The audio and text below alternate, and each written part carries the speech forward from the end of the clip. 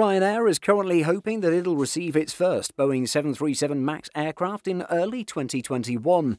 The airline has firm orders for 135 MAX 200 aircraft, with a further order for the larger Boeing 737 MAX 10 potentially on the cards. However, the aircraft ordered by the Irish low cost carrier is slightly different from your standard Boeing 737 MAX 8.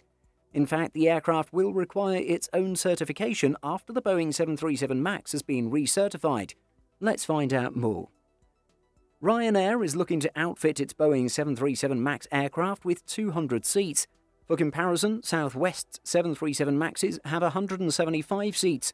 To make this possible, Ryanair has ordered the 737 MAX 200, a specially modified high-seat MAX 8 aircraft for low-cost carriers. According to Seat Guru, Ryanair's current Boeing 737-800 aircraft have a pitch of at least 30 inches. This allows 189 seats to fit in the aircraft's fuselage. Ryanair's latest proposal, however, takes the cake for the least legroom found on economy seats in Europe.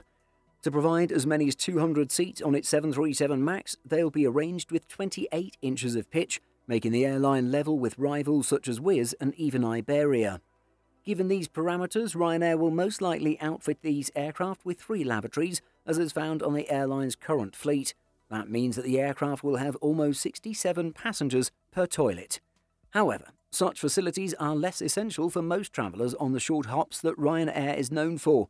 Additionally, this will be well managed with the airline's current rules that passengers must ask to use the restroom. To accommodate the higher number of passengers flying on board the 737 MAX, Boeing has specially designed the MAX 200 for Ryanair. In addition to the four main doors and four overwing exits currently found on the Ryanair 737-800, an additional exit door will be placed on each side of the fuselage behind the wing. This means the aircraft will have slightly more seats with extra legroom, as it will have an additional emergency exit row. Ryanair mostly operates short hops across Europe, with some of its longer flights lasting around four hours. 28 inches of pitch and a lack of bathrooms are far more bearable when travelling over shorter distances. While Boeing has built the 737 MAX 200 for Ryanair, the Irish low-cost carrier isn't the type's only customer. The additional emergency exit will also be seen on aircraft in Vietnam, thanks to a sizable order from Vietjet. Perhaps 28 inches of pitch will become the new normal in ultra-low-cost travel. The airline is known for its cheap fares, Given fares as low as Ryanair's, this seating arrangement is a win-win from both an efficiency and financial standpoint. From the economic point of view, the aircraft allows Ryanair to increase profit margins with a higher passenger load. However, from an environmental point of view, Ryanair gets another double win. Firstly, emissions are already down because of the new engine technology. However, the emissions of the aircraft are also divided amongst more passengers, meaning that each passenger's carbon footprint is lower.